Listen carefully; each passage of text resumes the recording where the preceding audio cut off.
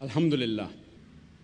والصلاة والسلام على رسول الله وعلى آله وصحبه أجمعين أما بعد أعوذ بالله من الشيطان الرجيم بسم الله الرحمن الرحيم أولم يرى الذين كفروا أن السماوات والأرض كانت رتقا فافتقناهما وجعلنا من الماء كل شيء है أفلا يؤمنون رب اشرح لي صدري ويسر لي أمري واحلل عقدة من لساني يفقهوا قولي My respected elders, and my dear brothers and sisters. I welcome all of you with Islamic greetings.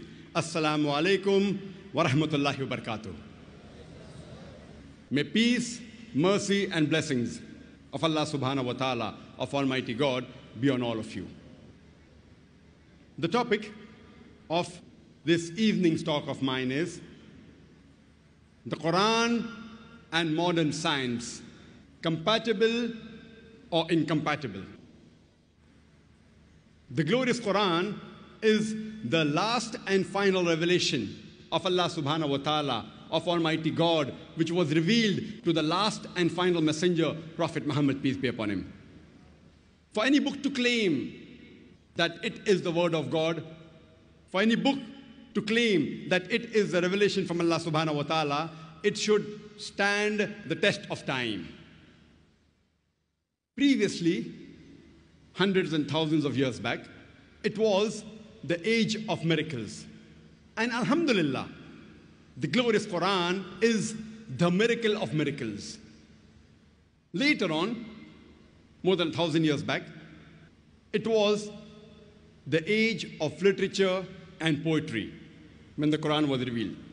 And Alhamdulillah, Muslims and non Muslim scholars alike, they claim the glorious Quran to be the best Arabic literature available on the face of the earth. And Allah subhanahu wa ta'ala gives the challenge of the glorious Quran in Surah Baqarah, chapter number 2, verse number 23 and 24, which says, وَإِن كُنْتُمْ فِي رَيْبٍ مِّمَّا نَزَّلْنَا عَلَى عَبْدِنَا And if you are in doubt as what we have revealed to our servant, Prophet Muhammad, peace be upon him, from time to time, فَأْتُوا بِسُورَةٍ مِّن مِّثْلِهِ Then produce a surah somewhat similar to it. وَدْعُوا شُهَدَاءَكُم مِّن دُونِ اللَّهِ إِن كُنتُمْ صَادِقِينَ And call forth your helpers and witnesses, if there are any besides Allah, if your doubts are but true. فَإِن لَمْ تَفْعَلُوا And if you cannot, وَلَن تَفْعَلُوا And of a surety you cannot. فَاتَّقُوا النَّارَ الَّتِي وَقُودُهَا النَّاسُ الْحِجَارَةُ أُعِدَّتْ لِلْكَافِرِينَ Then fear the fire whose fuel is men and stones, which is prepared for those who reject faith. Here the Quran gives a challenge that try and produce a surah somewhat similar to it. And the shortest surah is hardly three verses, hardly few words. No one has done it so far, and no one, inshallah, till eternity will ever be able to do it.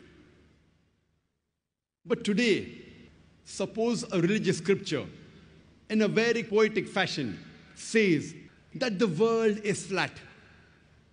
Will a modern man believe in it? But naturally, no. Because today is not the age of literature and poetry.